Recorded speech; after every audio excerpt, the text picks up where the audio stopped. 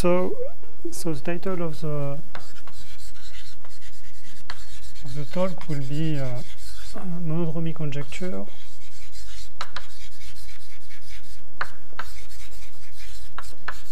And uh, motivic uh, fibers.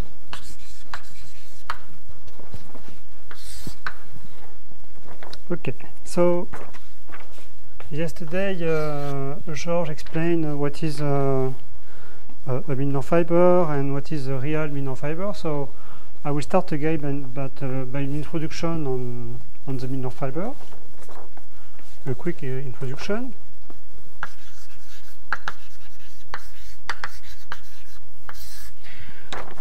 So the baby uh, example is uh, is the following: you consider n uh, larger than two, and uh, and uh, f uh, the polynomial z to the n. Then you observe that zero is a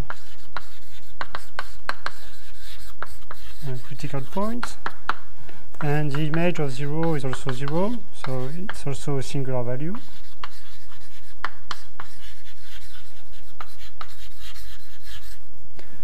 okay and uh, we observe that if we consider f on c star to c star so you you remove the critical point and the critical value then this f is uh, covering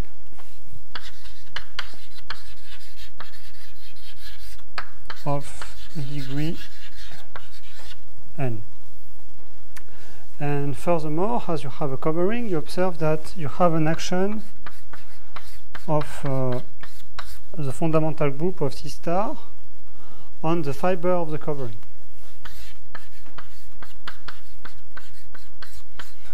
So simply, uh, if I consider a circle, and here I have the application F, then you can uh, you can lift this circle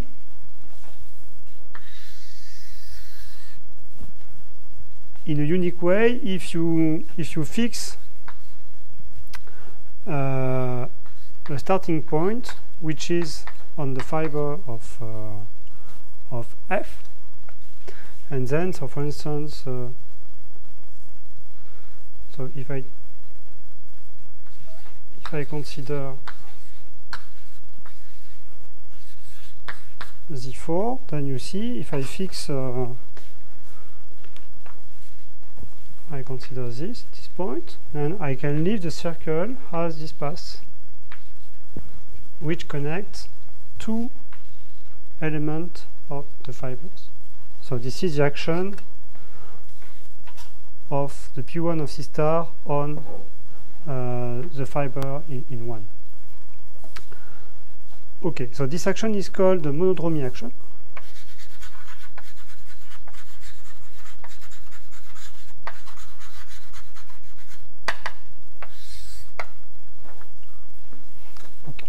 So now, more generally,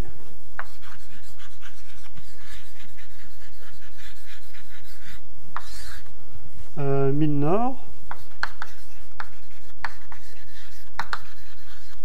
uh, proved the following uh, theorem. So you consider a polynomial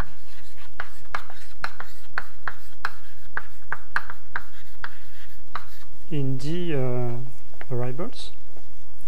You fix a point M in CD and uh, you you denote by A the image of the point A of the point M by F. Then we now prove that there is a epsilon lower than 1, larger than some eta, which is positive, uh, such that when you look at the restriction of f to the ball uh, centered at the point M, intersected with the tube over the puncture disk centered at A and reduce eta,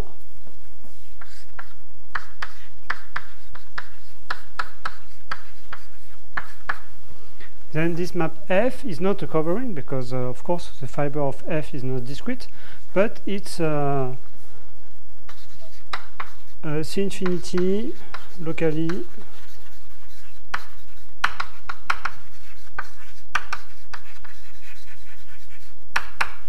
uh, trivial fibration. So that means that, for instance, if I consider the cusp example,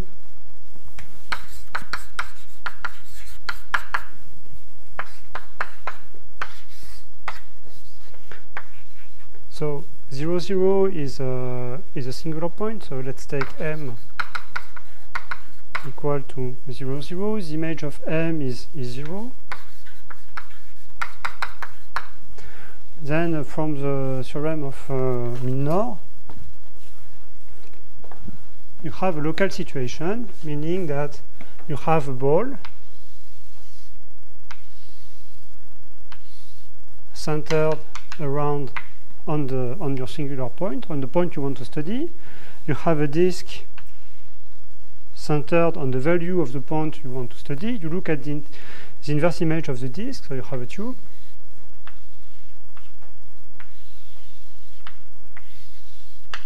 And you look at the situation of F on the, on the, on the intersection of the tube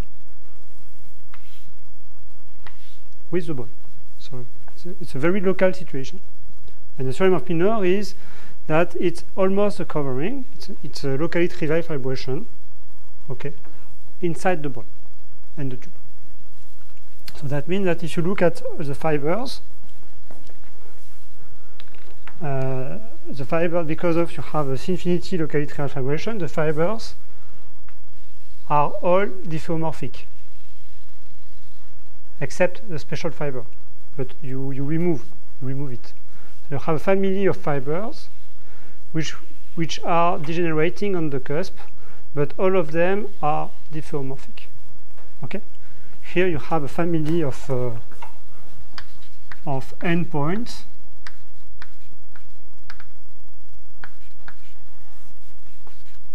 which are degenerating on one point, which is uh, the origin, and here you have the same uh, same situation. So this this is called the Milnor fibration.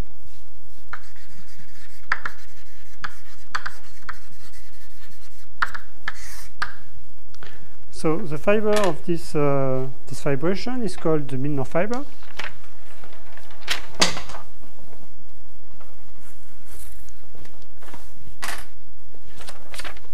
So for any t in the puncture disk, the fiber in T intersected with the with the ball is called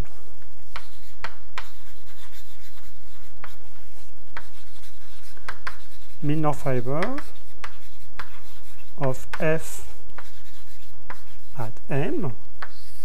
So it's well defined up to, uh, from dif differential point of view, it's well defined. Okay. It is well defined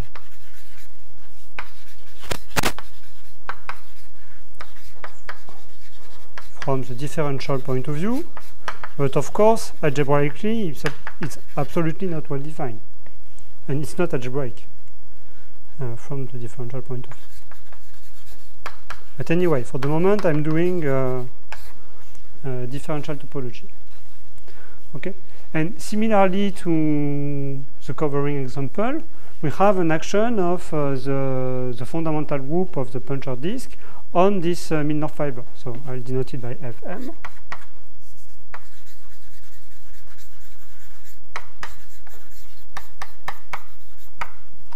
and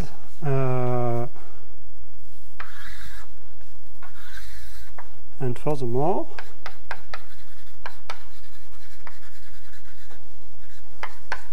the fundamental group of the puncture disk acts on the Milnor fiber. So let, let's take one Milnor fiber take it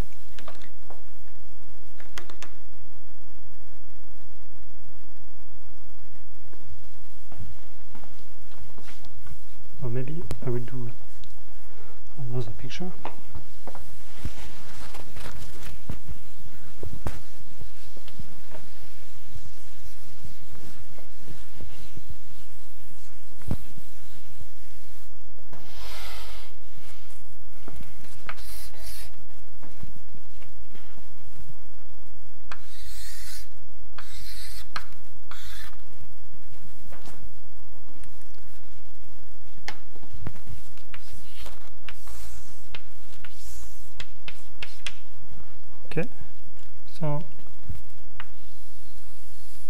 Here.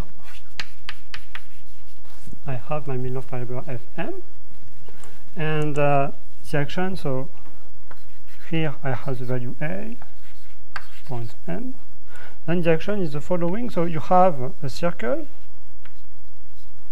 okay, and uh, you, you assume of course of course that here you have t.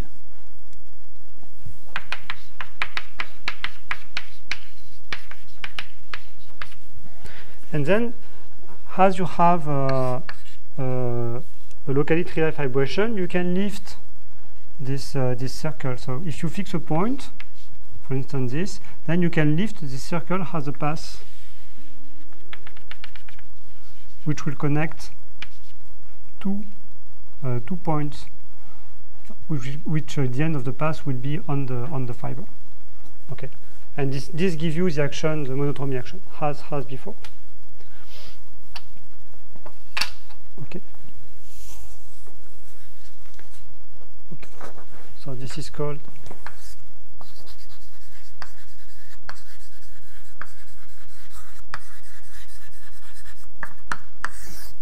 action.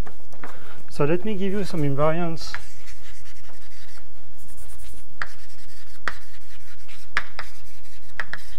interesting for the for the talk.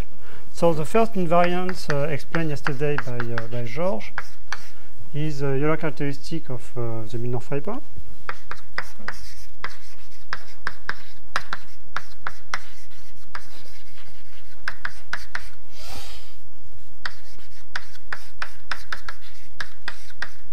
So you take the alternative sum of the dimension of the cohomology group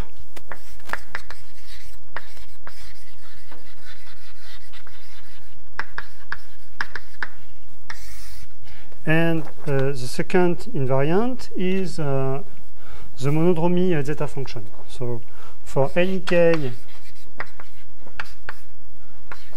you have a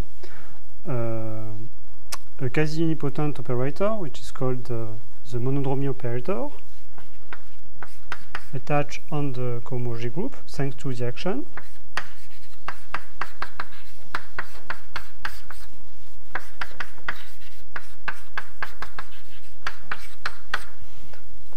So this is a quasi unipotent operator and they are called monodromy operator.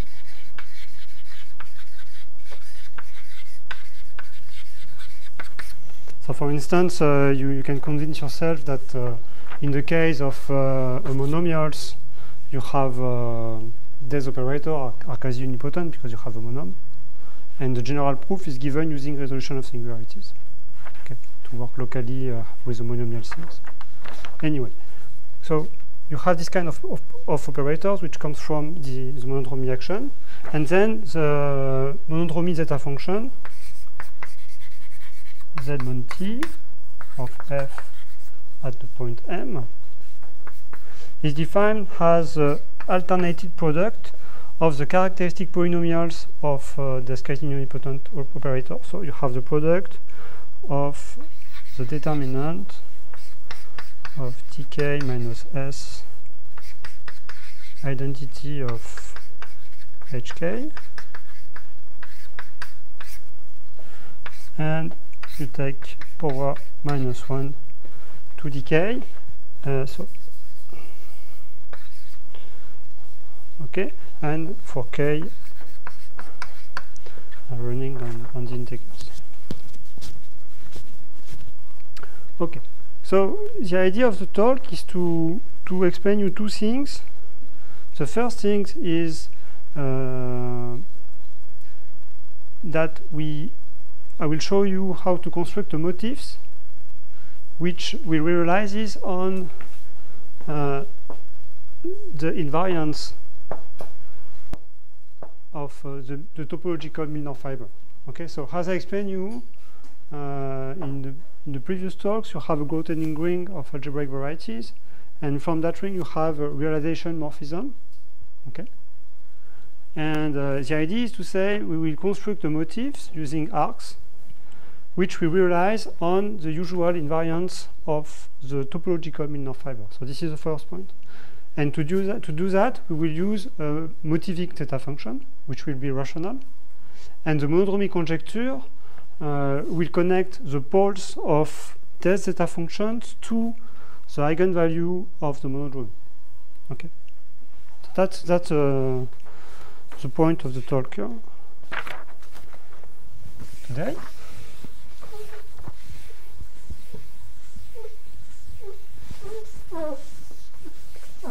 And uh, at the end, I will explain uh, how to compute things using uh, using four polynomials which are not degenerated for their Newton polygon or polytopes.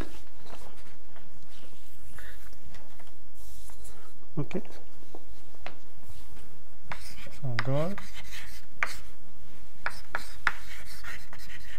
define motifs.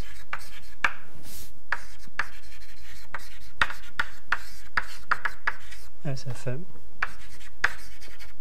which realizes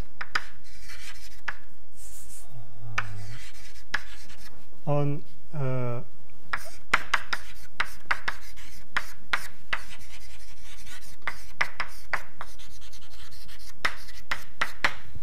okay so this is a work of uh, Denef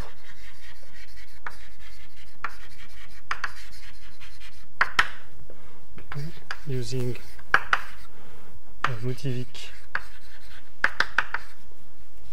theta function. Okay, and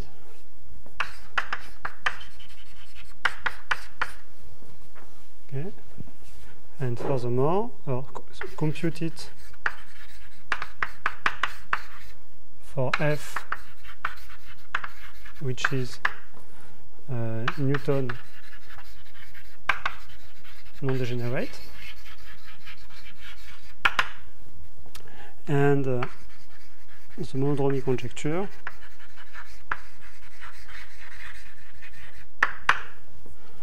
Uh, relation between fall of ZF Monty and uh, the eigenvalues. Eigen values of TK. So this is the goal.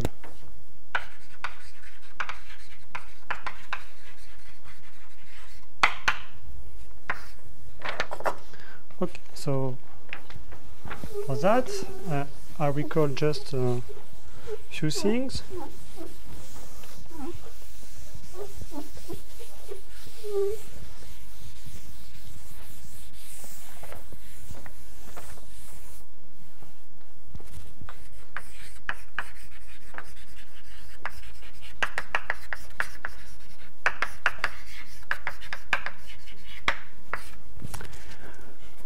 So first of all, we, we have to, to leave uh, the category of, uh, of variety, complex algebraic variety, to, to consider now algebraic varieties with actions. So we do that to, to, to, to encode the monodromy action. Okay. So mu hat denotes the projective limit of uh, groups of unity Okay, so mu n is a group of n roots of unity, and mu hat is uh, the projective limit of the group of unity. And we will consider uh, algebraic varieties which are endowed with uh, some uh, mu hat action. Okay, so we, we will see uh, later. But this, uh, in some sense, this mu hat action, this setting, uh, will allow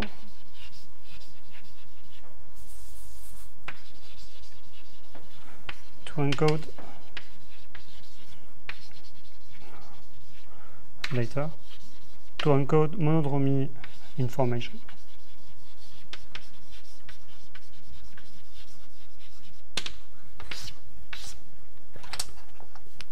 Okay, so you, you work uh, in this uh, in this category. So you you have x sigma. Huh? Sigma is uh,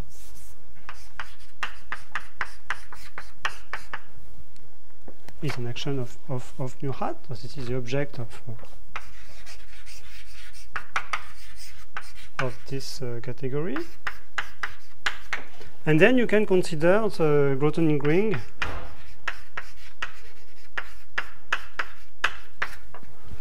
okay and consider exactly the ring of this uh, this category so just to, to recall you uh, generators are uh, isomorphism classes of uh, and you have uh, relations. Uh, so if you take uh, x with an action sigma and you consider f a club subset which is invariant under the action,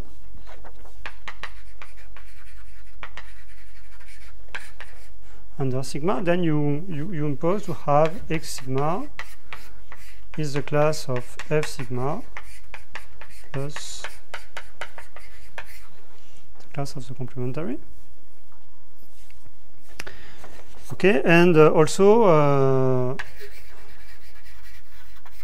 also you if you want uh, a, a, ring structure, then you, you you impose to have the the class of x sigma x times the class of y sigma y so the product of the classes will be the, the class of the product with the diagonal action. This action is diagonal.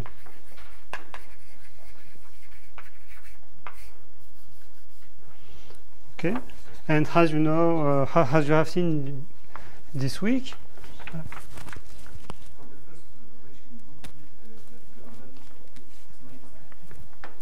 say again.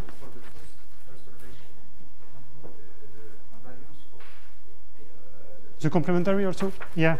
Yeah, yeah. Uh, and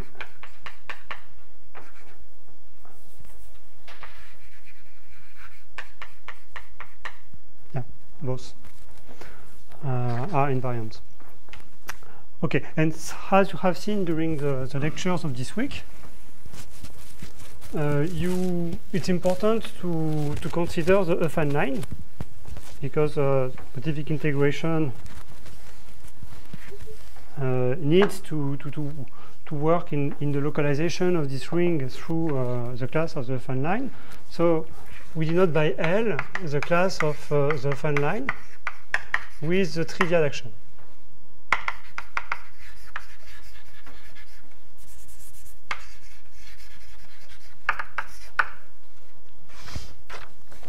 okay and then uh,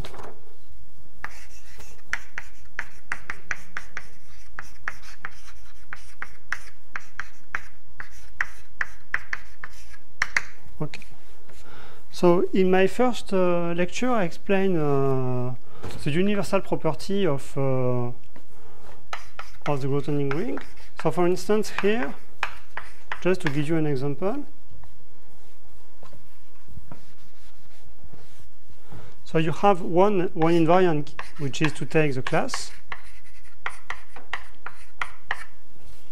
Okay, take the class. And here, as you have uh, an algebraic variety with, uh, with a, a mu hat action, then you, you can consider, for instance, the so maybe I should say here, if you have x with an action sigma, then uh, you will have uh, uh, half of the monodromy. You, you will have a quasi-unipotent operator.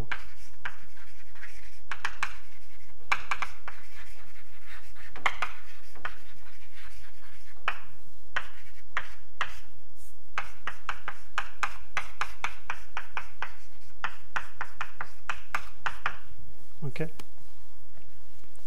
You will have uh, quasi-unipotent uh, operators because you have x with an action of mu hat. So to, to be just a, a bit technical, uh, you, you allow uh, only actions uh, which factorizes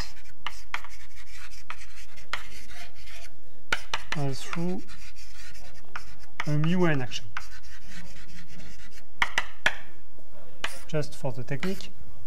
So using just that, you, you see that you have X and with uh, an action on, on, it. So when you look at the cohomology group, then the, immediately you have uh, an operator on the cohomology group. And because you, are, you have uh, some mu n action in some sense, then this operator will have uh, uh, eigenvalues which will which which will be uh, roots of unity. So it's also a unipotent operator. Okay. So to each x sigma you have this for any k.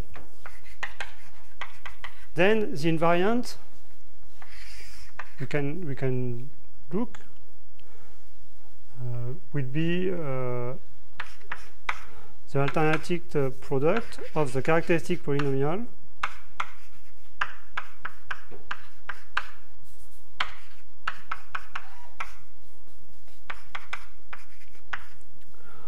of this group.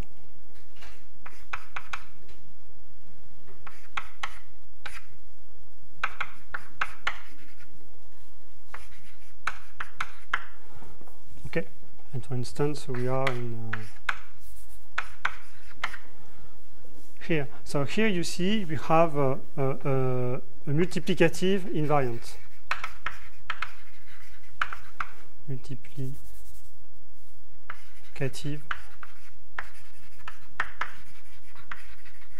invariance.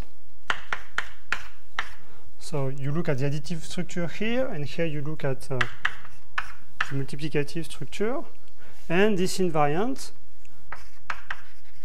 let's call it Zmon, uh, will factorize through the, the bracket operation. So here you have a realization Z tilde mon. And uh, one theorem of the Denef-Loeser will be that uh, Z tilde mon of the motivic uh, Milnor fiber will be uh, Z mon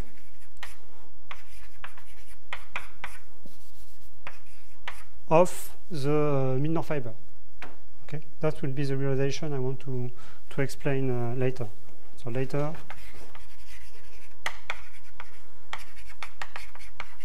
We will have this result. Okay. Okay, so now the question is how to construct this uh, this object. So for that we, we will use arcs and some zeta function.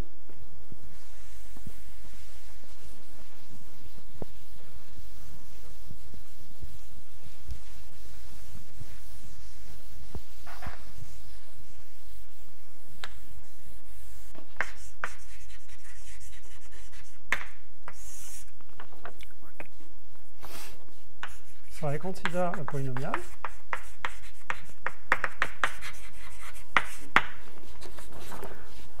A point n in CD and A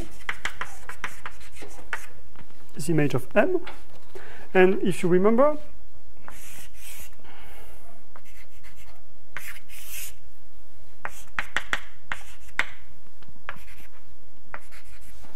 at the beginning, I I explain what is a, Milnor ball.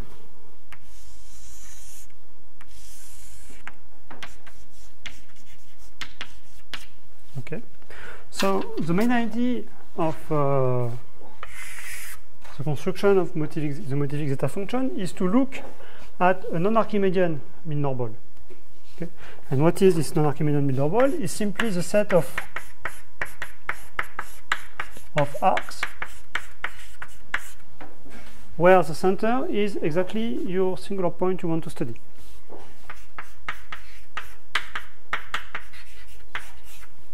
Okay, so this is uh, an infinitesimal.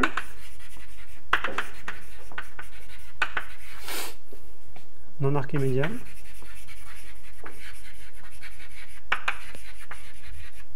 a mean So you're looking to all the arcs. So maybe I should uh, write like this. Sorry. Okay, so I look at, at the arc towards the origin is uh, is, a, is a special point. And then uh, the other idea is to say, okay, now I, I would like to have some uh, non-Archimedean uh, analogy with the tube. So here have the disk and then have the tube. So in some sense, I need to have uh, a non-Archimedean analogy with a neighborhood of the of the special fiber. Okay. So the idea is, is simple. You fix uh, an integer n larger than 1 and you look to all the arcs in the mean-normal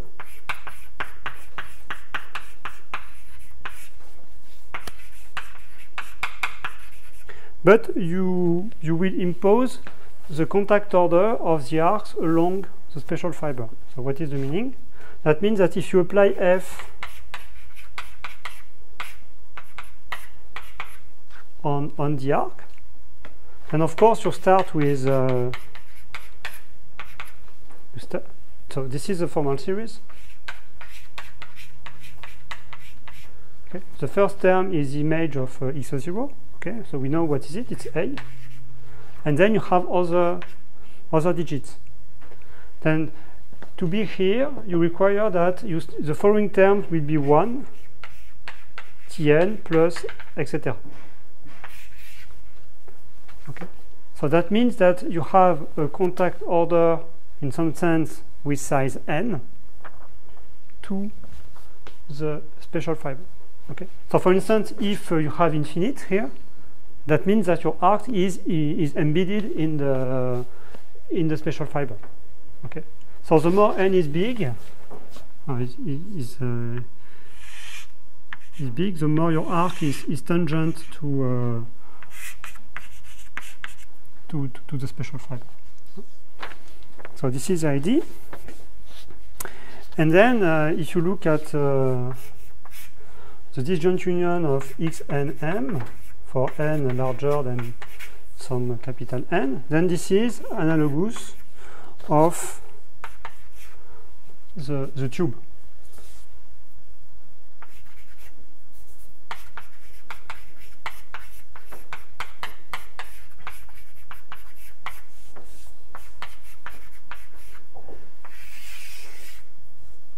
this analogy.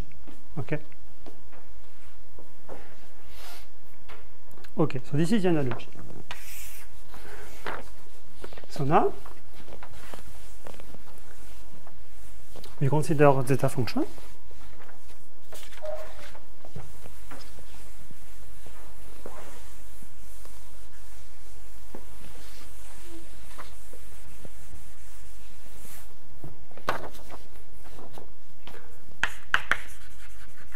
So then uh, mettre 0. Introduce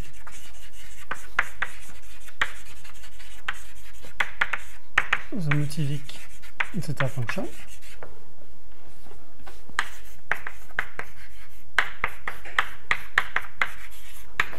which is a sum for n uh, larger than 1 of the motivic measure of this uh, x m to the n. So the motivic measure is an is a motif, and, and then you have uh, a generated series in uh, in this ring, and they prove that this zeta function is rational.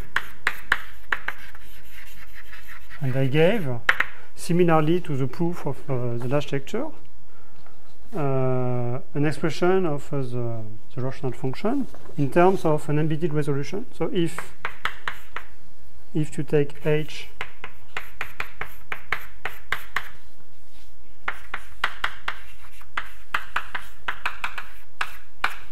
an embedded resolution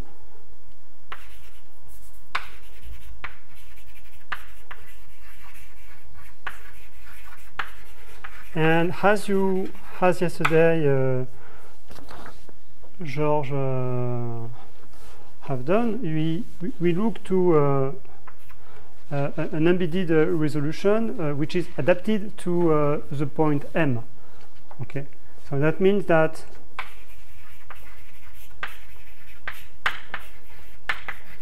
the inverse image of, of, of the point M, so here you have a point, which is your point, your special point, so of course, the inverse image of f equal to a is a, is a normal crossing divisor, but you will impose that the inverse image of m is also a normal crossing divisor embedded in the full normal crossing divisor. Okay.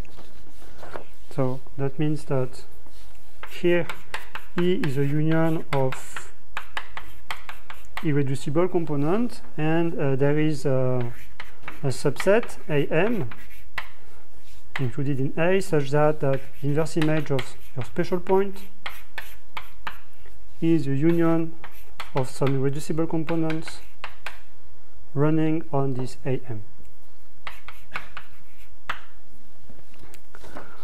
Okay, so you have that, and uh, as before, you have the data of the, the resolution. So the divisor attached to uh, the composition between F and H is uh, that form and the Jacobian divisor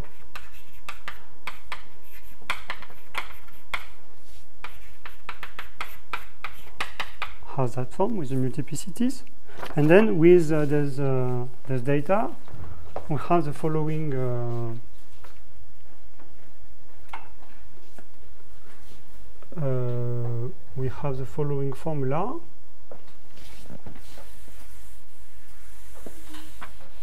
Right.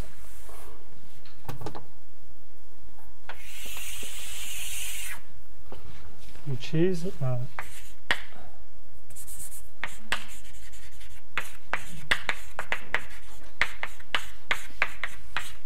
have a sum on subset of AM which are non-empty of some classes EI 0 tilde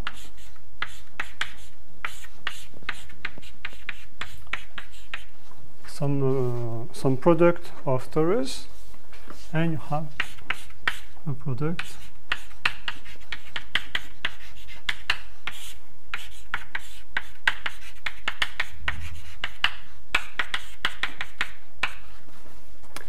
Okay, so if I draw a picture and I explain again what I explained in the last uh, last courses. Uh,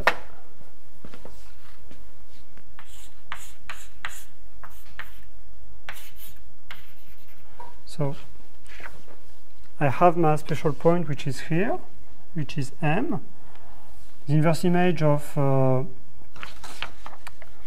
so this is the fine space ADC here I have y, okay, and uh, the inverse image of the curve f equal uh, 0 here will be the normal crossing divisor E, and I have some uh, and that, which goes to the point uh, point M. So I don't. I just look to these uh, irreducible components, and then I have a stratification of uh, of the normal crossing divisor.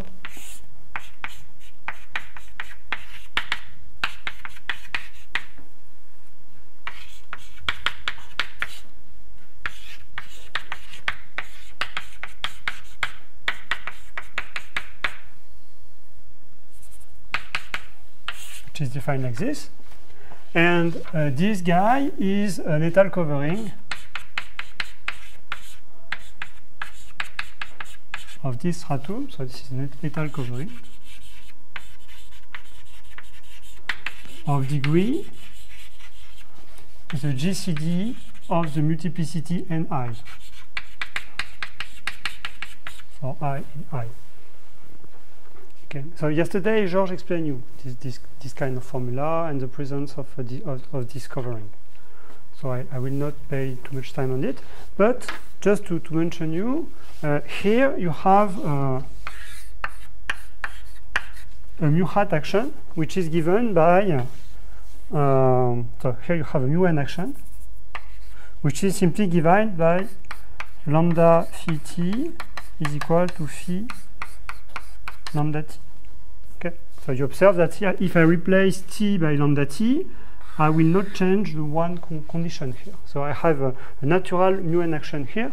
So this measure lives in uh, in that ring. Okay. Okay.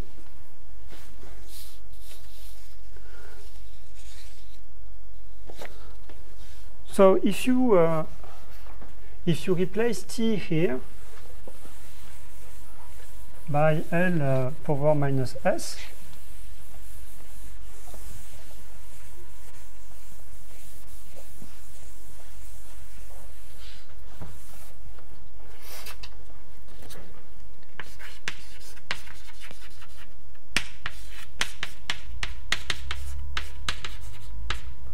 then uh, we, we have uh, some uh, fractions of the form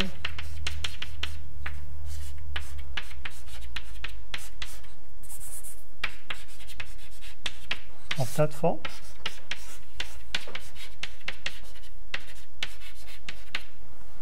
Okay. And then you, you say that uh, uh, for any i capital I uh, minus uh, mu i over ni is uh, a candidate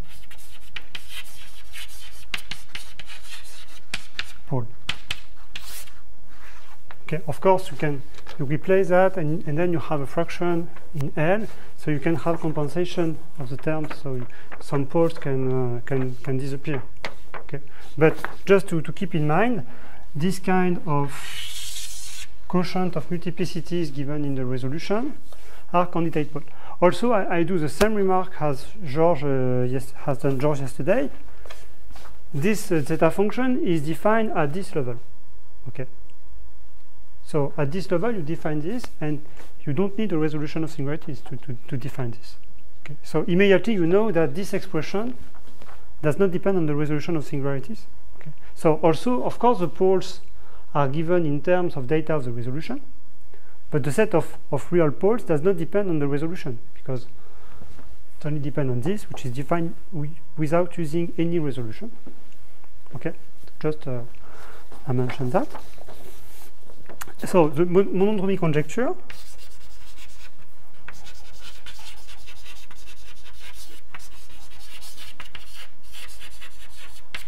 Uh, says that uh,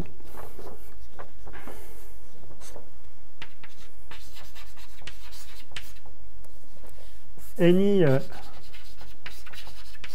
non-fake pole any real pole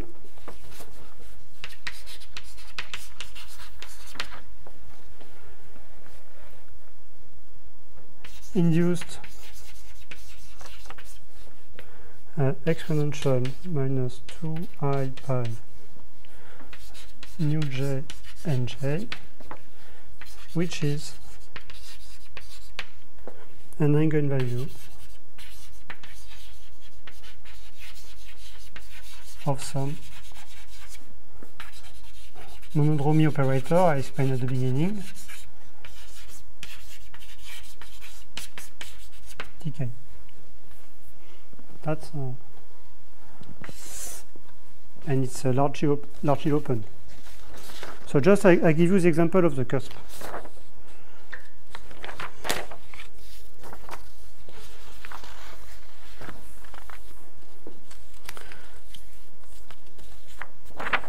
So in the case of the cusp, if you do, uh, so during previous lectures we, we spent, spent time to give the resolution of the cusp uh, uh, through uh, three, uh, three blowups. So I just give you the, the result.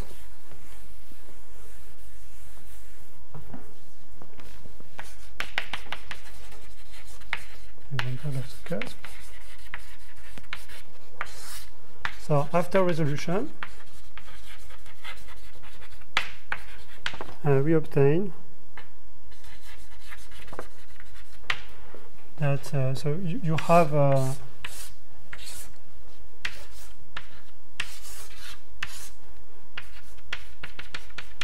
you have four uh, irreducible components for the for the resolution and you get uh, the following multiplicities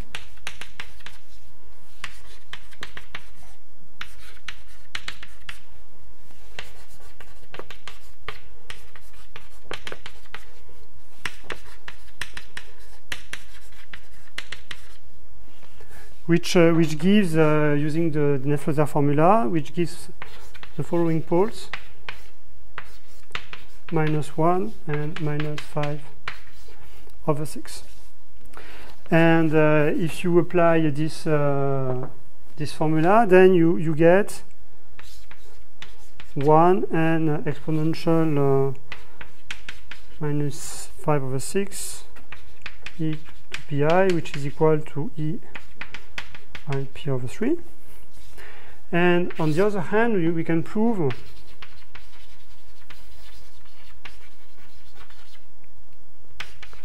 that the monodromy uh, uh, zeta function for the cusp is equal to 1 minus t6 divided by 1 minus t2 1 minus t3 So we can observe the, the monodromy conjecture on this uh, on this case. Okay, so now just to, to go fastly, so just I, I mentioned that the conjecture is proved in the following case. So in dimension 2, so for curves, uh, this is due to uh, and uh, Bart Rodrigues. Uh, in dimension 3 and uh, F homogeneous. So this is due also to uh, Rodriguez and Weiss. And uh, Bartolo, Artal Bartolo, Casounogues, uh, Luengo Meillet.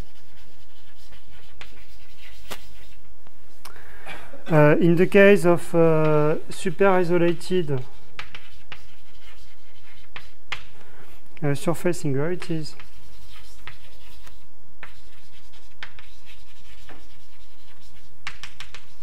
it's done also by uh, uh, Cassou-Noguès and the Spanish mathematicians.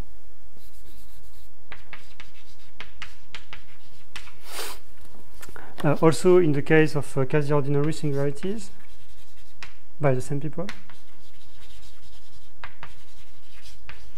which uh, generalizes the case of, uh, of the curves. And uh, for abelian vari variety, it's, uh, it's given by Nicaise and, and, and Halle.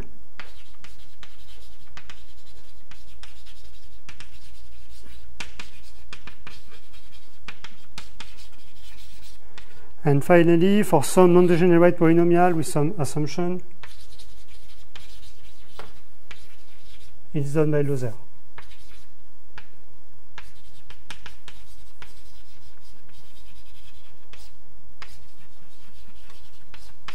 So we can observe that in fact uh, each case is specific and the technique is also specific to the case. And there is no uh, global uh, uh, global attack for, for anything. So it's very, very, very open.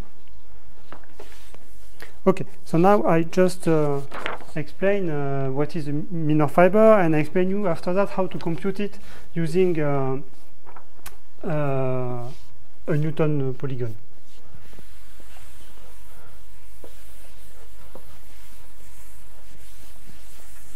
So you observe on, the, on my uh, rational uh, function, rational formula, that I have a fraction and the degree of the numerator is equal to the degree of the denominator. So I can take a formal limit. Okay, so there is a notion of formal limit, which says that uh, n minus nu i t over ni goes to minus 1. So this zeta function has a formal limit and we denote the limit SFM as the opposite of uh, the limit.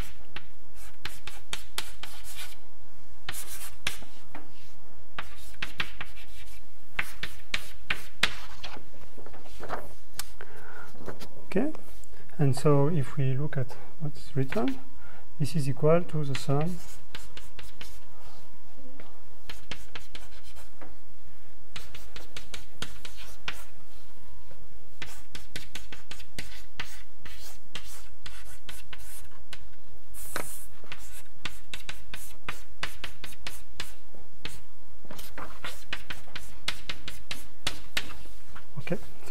written to, to this and then you, you can, can observe that uh, I can uh, I can rewrite in the following sense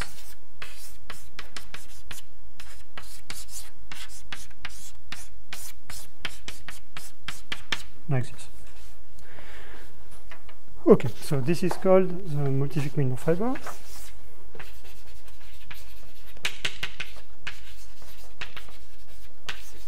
And you observe that you have an expression of this. Of course, it does not depend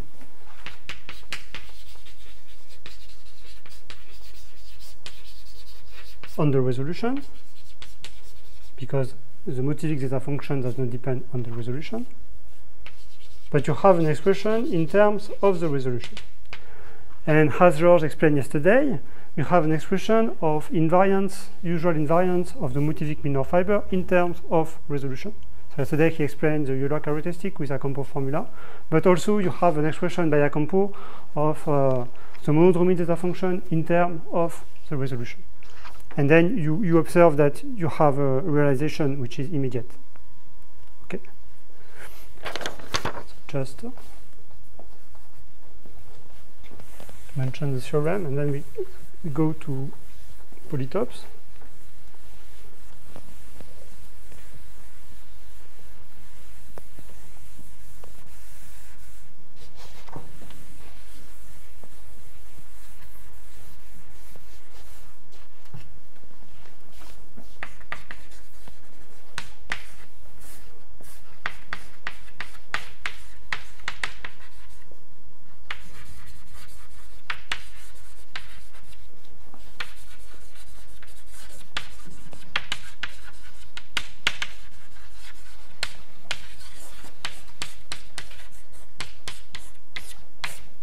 Okay, so the Milnor fiber, maybe I should write it like this. Milnor fiber with monodromy action.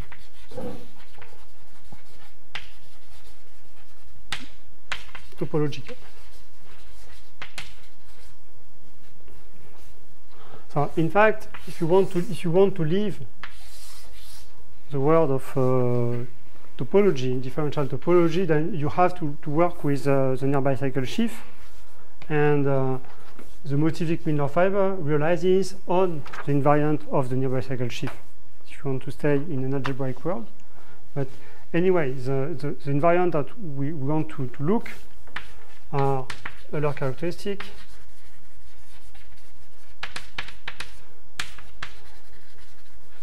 uh, monodromy zeta function.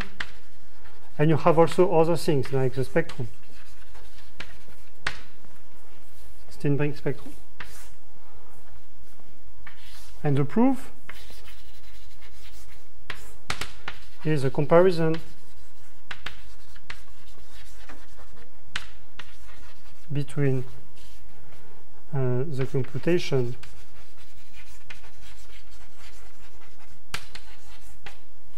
of SFM and invariance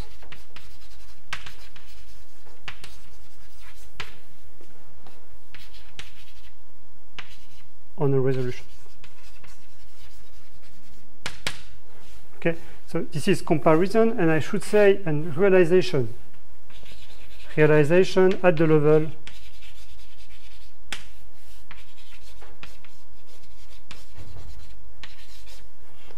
of the resolution. So you don't work, you have y to x, and here you have f equals 0, and you work only at the level of y, and you realize at the level of y. Okay.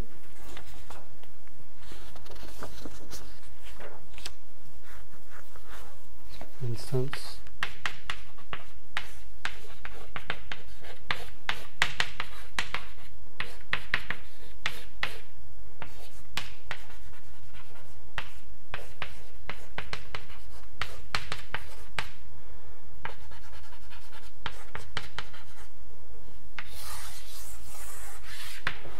have this kind of formula. Okay, so now during uh, the last uh, 30 minutes of my talk and of the conference, yes?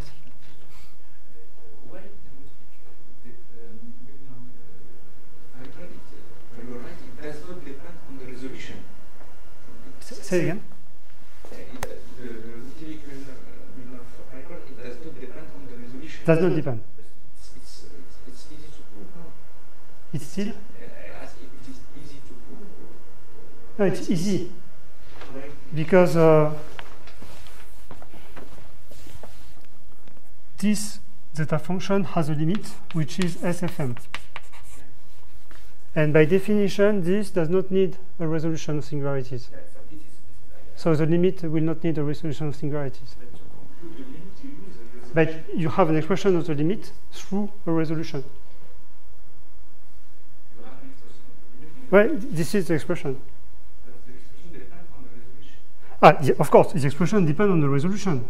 But but the, but you can take another resolution of singularities. You will have the same motif with with with another formula, and I can say that uh, these formula are equal.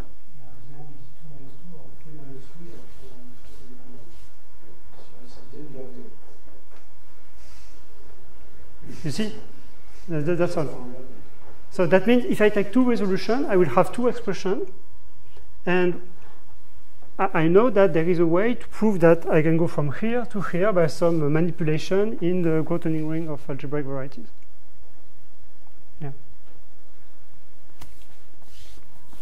So also uh, there, there are people like uh, Looijenga or Bittner, and they prove that their expression does not uh, depend on the resolution because they take two resolutions and they use a weak factorization theorem.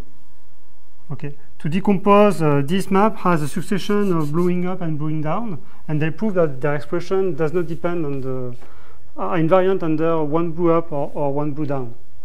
Okay, so so they do this, but here in our cases, everything is ever defined at the at the level of x. So, but of course, you need uh, uh, you need Hironaka to prove that that guy is rational. Otherwise, you need other assumptions like uh, what I'm, I'm doing to explain now. Okay, so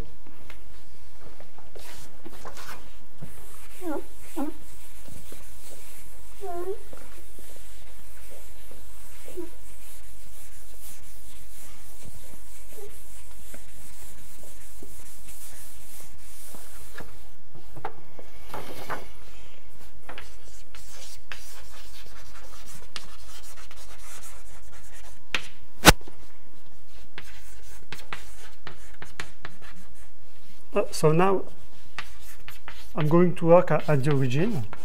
Okay. So I assume that the image of 0 is 0.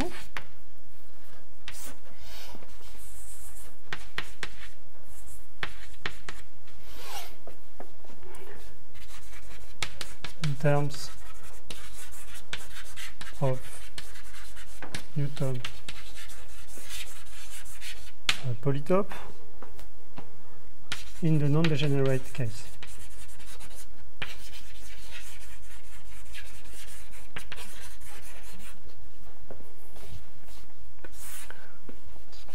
So I recall you that uh, I, I use some arcs. Okay, so I fix an integer n larger than 1 and I'm interested by the set of arcs xn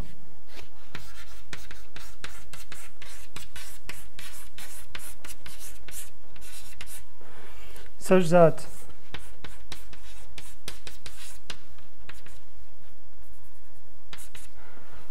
uh, the origin of the arcs is my special point.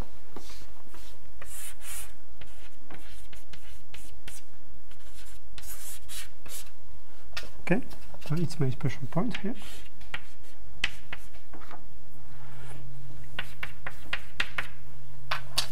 And secondly, when I plug my arc inside F, I have something which starts with 1 Tn plus etc. Okay. So, first of all, when you say that uh, x, uh, the, the, origin of, of your arc is, uh, is the point 0, 0, that means that uh, your arcs can be written coordinate by coordinate as xit equal to t power some some power alpha i and you have something else.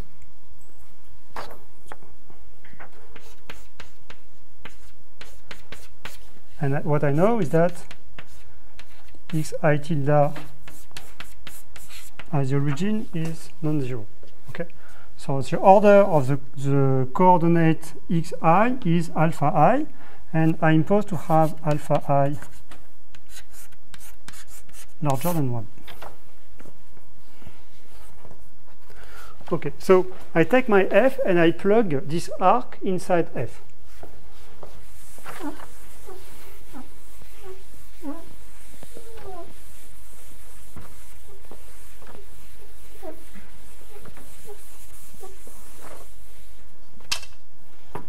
So my polynomial f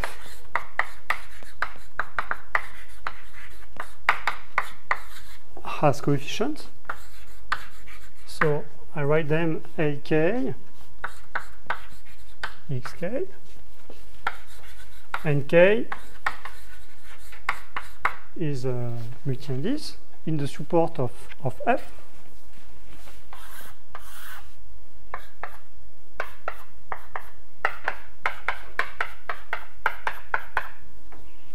like this. And uh, I plug. So what I have is uh,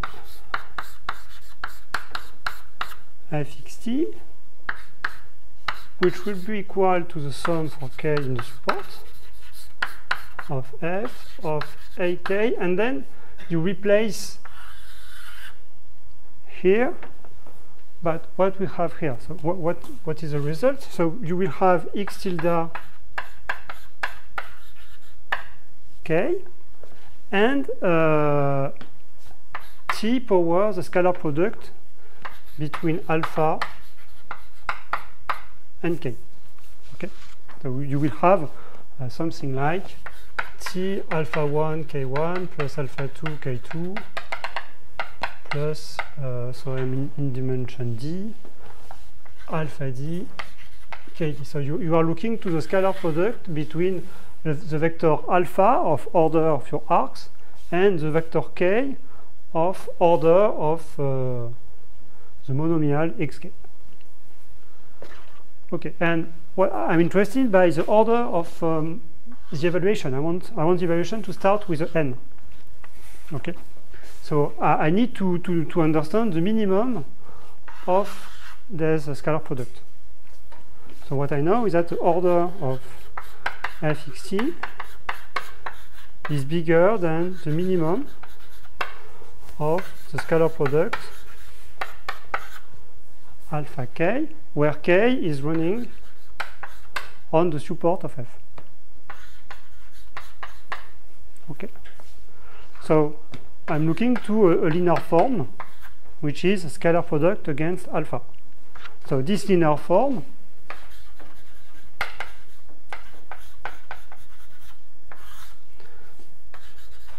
has a upper plane has a level set okay? And the normal is alpha with normal alpha okay so here if I if I uh, consider one vector this is my vector alpha and I'm looking to the level set.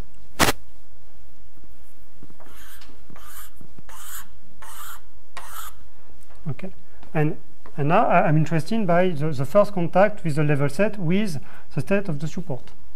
Okay and then you see that you will need to consider what we call the uh, Newton polytope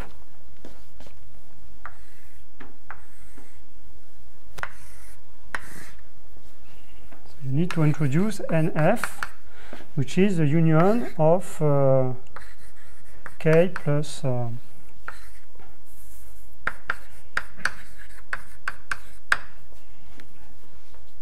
sorry, this is the convex hull of this union.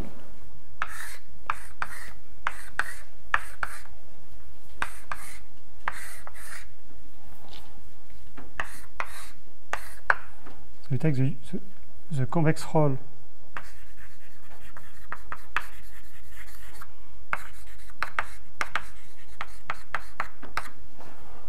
of this union and this is a, a polytope and we call it Newton polytope.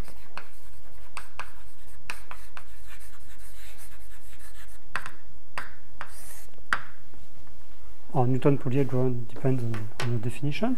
And what you see is that when I look at my family of level sets, then you will uh, you will uh, when, when you search the minimum, the minimum reach on some faces of the Newton polytope. That's uh, that's the main point of the of the story. And so in that case, uh, you will arrive here. So the you, you will attach to the the vector of order alpha one of the faces of your uh, Newton polytope. And if you if you know the notion of uh, the, the dual fan of the Newton polytope, then you see that this vector alpha lives in the dual fan of the corresponding face. So, I write that.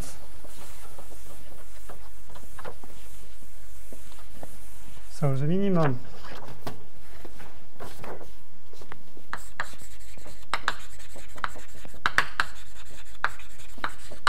is reached along unique face.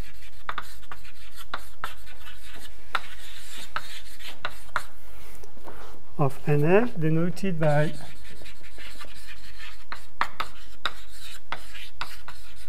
gamma alpha and by duality alpha. Belongs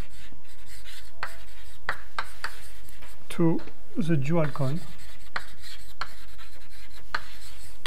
of uh, of gamma alpha denoted by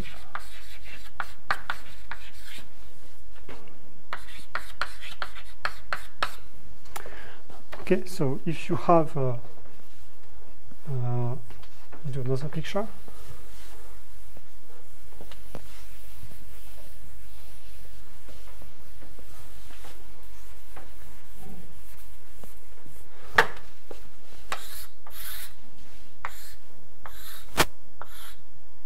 So for instance, you have this uh, Newton polytope. Then you observe that you have uh, gamma 1, gamma 2, gamma 3, gamma 4, and gamma 5 compact uh, faces. Okay, so we, we don't we don't care about the non-compact faces. We just uh, we look to the compact faces, and then you consider the normal of uh, of the face. So you have this, and you have this. Okay. Then uh, here, here you have a cone. This cone is the dual cone of the face gamma 5. So here you have sigma gamma 5. Here this line is a cone attached to that one-dimensional face. So here you have sigma gamma 4. Here you have sigma gamma 3 and uh, blah blah blah uh, the blue one is sigma gamma 1 and the rest here will be sigma uh, no this is gamma 2 and the rest is sigma gamma 1 so you observe that you have a partition of uh, this quadrant in terms of of cones, which is, and this is called the dual fan of uh, of the Newton polytope. And my alpha is somewhere. Okay. So if he is in this cone, that means that it would correspond to the face gamma 3. Okay. So we can decompose. We, we are going to stratify the xn in terms of the face gamma in terms of the, the cones. That's the point. So uh, do it. But before, okay. So before that, I, I want to continue uh, the investigation of the order because for the moment I just said that the order is larger than something which depends on the face. So just uh, I continue in this direction. So if, if gamma is a compact face,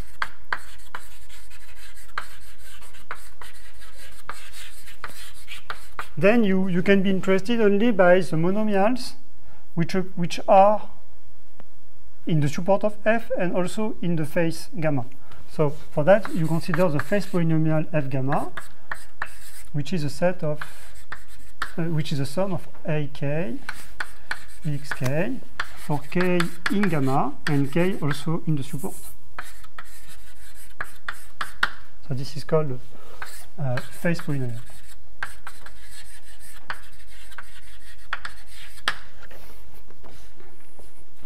Okay, so using that face polynomial and looking to the formula there, then you observe that fxt will be equal to t power some value m alpha. This is m alpha. And I can factorize. So I factorize with a first, uh, a first part, which of course is given by the face polynomial. So here you have f gamma of x tilde t. So I put in factor the this this term, okay. Okay, so that we have we have here necessarily remark for any k in the support, the scalar product of alpha k is larger than m alpha. So I can put t m alpha in factor, and uh, for the, the k in gamma, I, I will have just one. So I have just this term plus the rest. So sum of gamma, uh, k not in gamma, k in the support.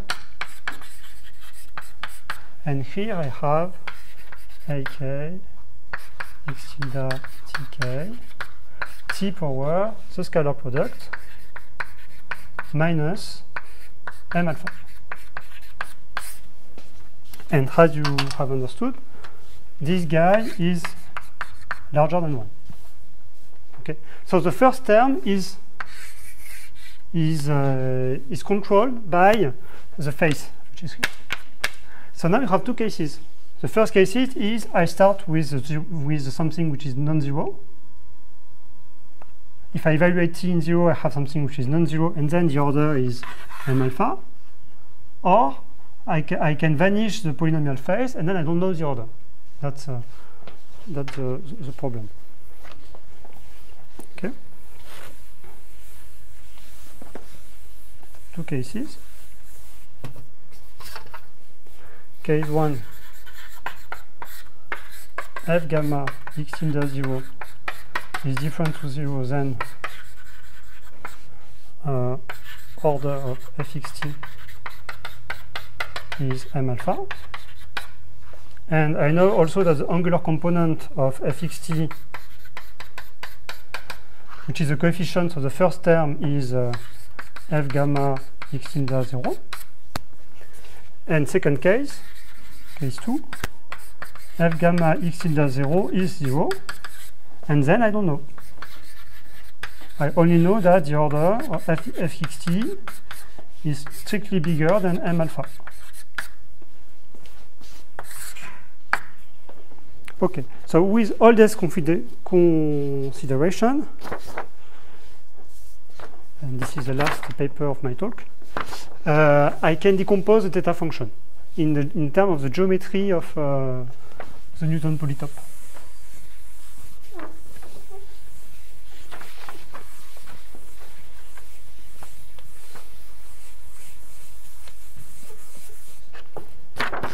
So then, ZFT, so it's a sum over the face of the Newton polygon. And I have two parts. The first part is I take alpha in the dual cone of sigma gamma. So I fix the order of my of my arcs. And I look to the measure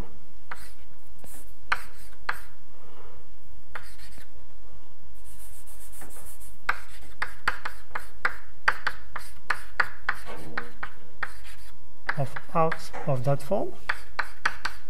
So I impose the order alpha i. Here I'm running on, on the order. Such that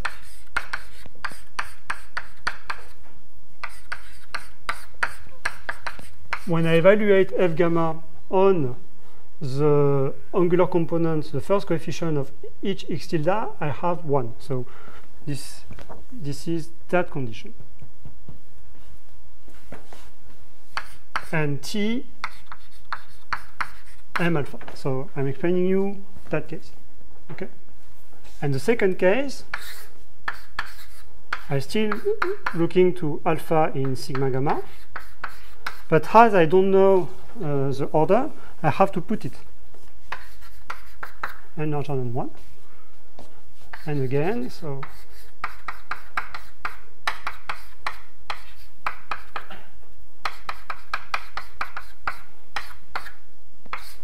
So here I, I, am in the second case, so I am vanishing F gamma, and I ask to have fxt is 1 tm plus etc. t to d. Yes, yes, yes, exactly. So uh, this is this is the most important point. X i tilde is an element of C star D. Okay. I, I fix the order to be equal to alpha i coordinate per coordinate. It is very important. So that means that these conditions are imposed on the torus. Okay. And I have a quasi-homogeneous polynomial, so I'm looking to things inside the torus with uh, good polynomials. Okay, so it's a way to rewrite uh, the motivic zeta function in terms of the Newton polytope. And then uh, what you, you can observe, so I don't detail, but so let's let's call this set x alpha. Then the measure of uh, the motivic measure of that guy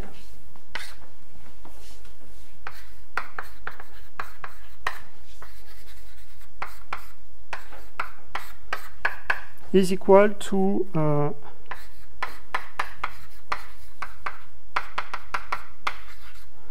L power minus some alpha i. This is this is uh, quite normal because you start with uh, alpha i. Okay, so if you truncate modulo n for n bigger than n, then you you recover the same reasoning of uh, uh last uh, last day. So after computation, you have that. And you, you have to take account this, uh, this condition. So here you have the class of f gamma equal to 1 inside the torus. Okay. So arcs are written like this, t alpha i plus etc. plus tn. If you truncate modulo tn plus 1,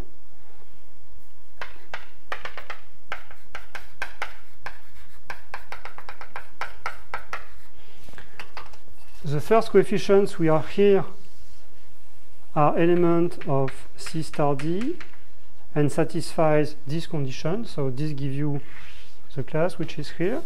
And if you count here, you will have uh, ND minus sum of alpha i coefficients.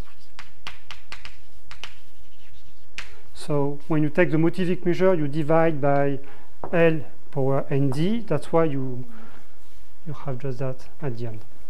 Okay, so this is the, the, the idea of, uh, of the proof of that. And in the second case, if uh, I uh, I write, I denote this by xn alpha, then in the assumption, in the non-degenerate assumption,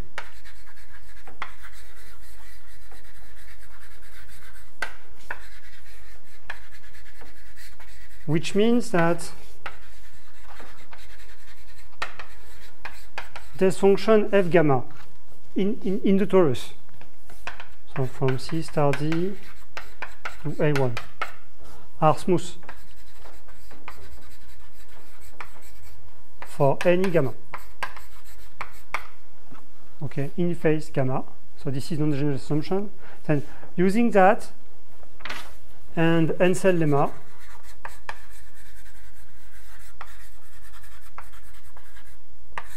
Then you can prove that the motivic measure of xn alpha is equal to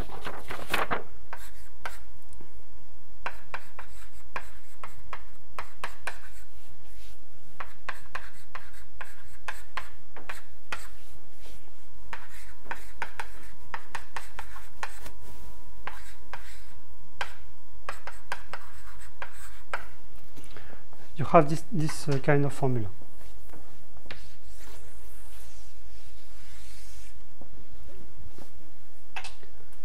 Okay, so the first coefficient here will give you that. Okay, and the idea is to, to, to, to say uh, F gamma is smooth. Then I will use Hensel lemma to, to, to, to show that these arc spaces truncate to some order will be a bundle. Okay, and then I know how to measure a bundle. And to prove that it's a bundle, then I will fix some coordinates and I will recreate using Hensel lemma some part of the, the last coordinate, which is, uh, from, for example, from the first from, from the first uh, coordinate. And I can do I can recreate some digits, and in fact I have here a, a measure which told me that except n minus uh, m alpha digit, I can't recreate more. That, that's more or less the, the, idea. So if you plug inside ZF this formula, then you can prove that it's rational. Okay, so you, you will have a summation above a cone because sigma gamma are, are cone. So you, you have to, to sum ab above. Uh, so you can prove the rationality.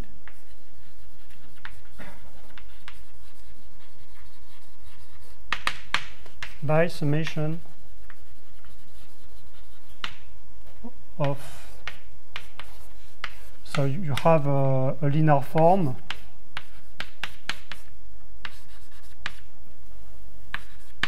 You have something like that where L and M are linear forms. And this is the idea. And you are assuming on integer points on the cone okay and you prove that this is rational etc okay so at the end of the day when you take the limit you obtain a, nice formula which is due to uh, uh, many people.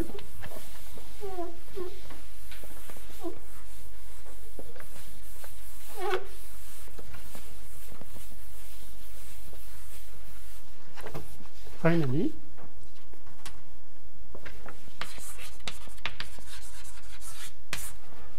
uh, and as I said before Arta, Casounogues, Wengo Meillet and later uh, Nicaise, uh, Bulto Nicaise prove that the motivic minor fiber or F at the origin will be equal to the sum along the compact face of uh, Newton polygons. Of some uh, uh, here you have some minus 1 power some integers.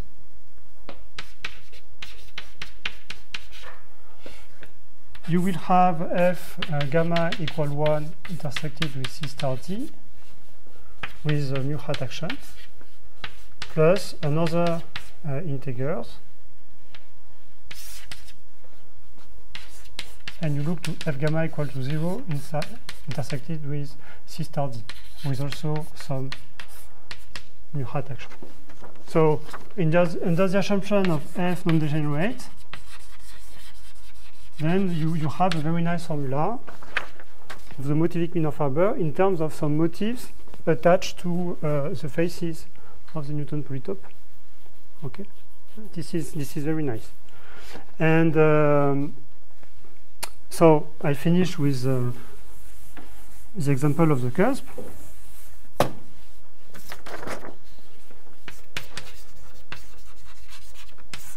And for the cusp, you obtain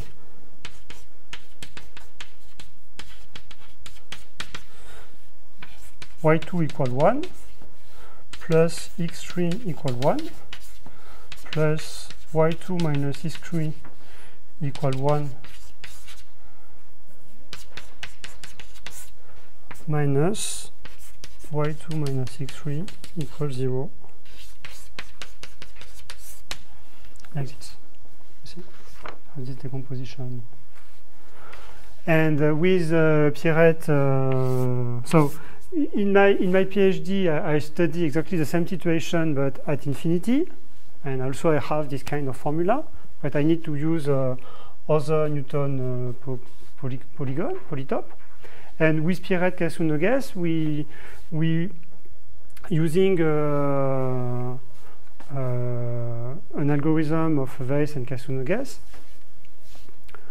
we, we, we study the case for curves uh, where curves are degenerate. So you don't have this, uh, this condition. You don't have the non-degeneracy conditions. But for curves, you have uh, some good chain, chain, variable formula. Which, uh, which in fact, uh, but in fact, everything is in the in the algorithm of uh, Veys, uh, Cassou-Noguès Veys. So you will have an expression of the motivic Milnor fiber in terms of the first Newton polygons, and after doing all the Newton transformation, you will have plenty of Newton polygons. And at the end, we'll have a very nice formula in terms of all the faces of all the Newton polygons attached to the, to, to the curves.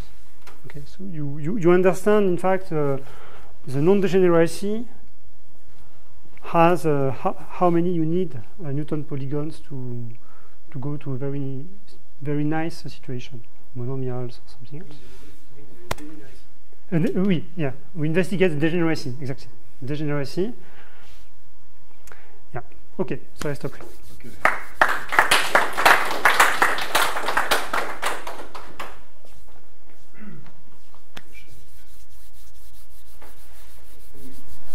You need the, uh, when you avoid the, the non-degenerate assumption, you need that you improve the Newton polygon after uh, each step. With, uh, I don't understand. When, when, you avoid, you avoid the non-degenerate assumption. Yeah, so if you am I in the generate case, Yeah, Yeah, so if you are in the generate case, I can I can show you. That means that you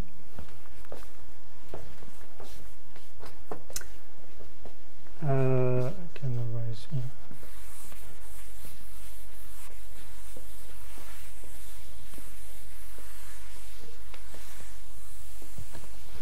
In the degenerate case for curves, so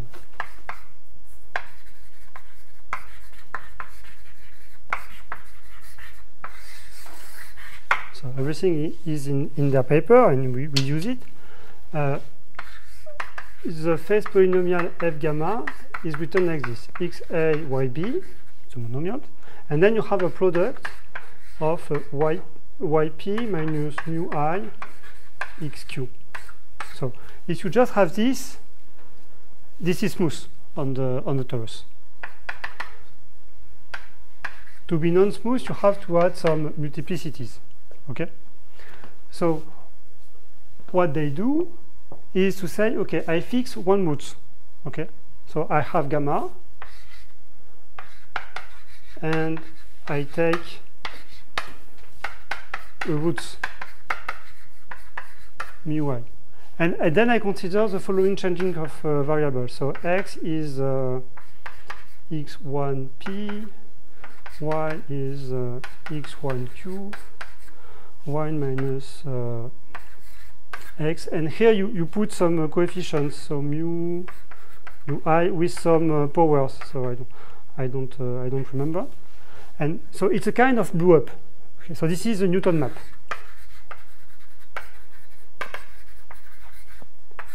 Okay. So the idea is for any face, for any roots, you use this change of variable. So you you replace f will give you a new polynomial f sigma p nu in new variables x1 and y1. And the idea is that the Newton polytope of that guy is better than the Newton polytope of that guy. In sense, the height is uh, is lower. Yeah, in this problem, you, you improve the Newton. Yeah, you improve. You improve it. Uh, but there is a moment uh, where you the algorithm stabilize, and then you have to, to, to do this case uh, for himself for itself.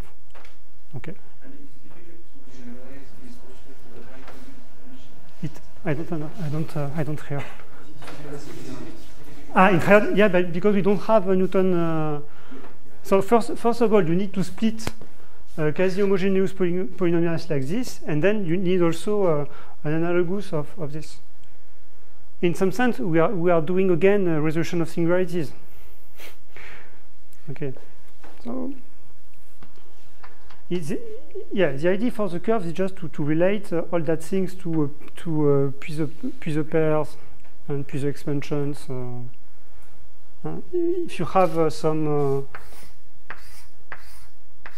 what you are doing doing that is you are following uh, uh, one branch of the of the of the of the Puiseux pair of the curves.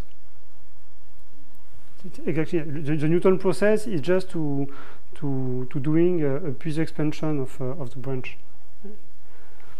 and we, fo- we follow that. And in fact, the, the thing which is very good is that this kind of transformation is very compatible with the arcs. That means that you transform a, zeta function on another zeta function to another polynomial, staying uh, and you stay also at uh, at zero zero. So with Pierrette, we, we are we are also investigating the same thing at infinity. You, you see.